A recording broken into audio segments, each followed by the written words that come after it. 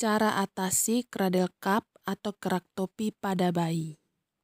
Cradle cap terlihat kulit kepala bayi tampak dilapisi oleh lapisan kerak yang cukup tebal dan berminyak, pada umumnya timbul minggu pertama.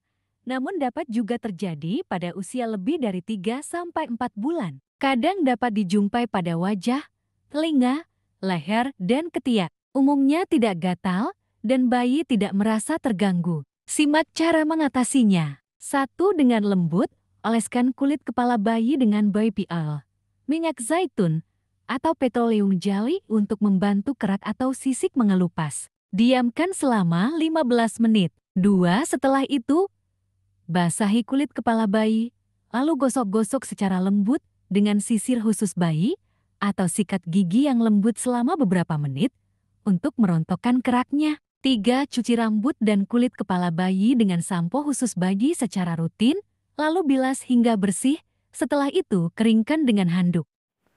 Perhatikan, bila kerak cukup tebal, dapat gunakan sampo yang mengandung bahan anti ketombe.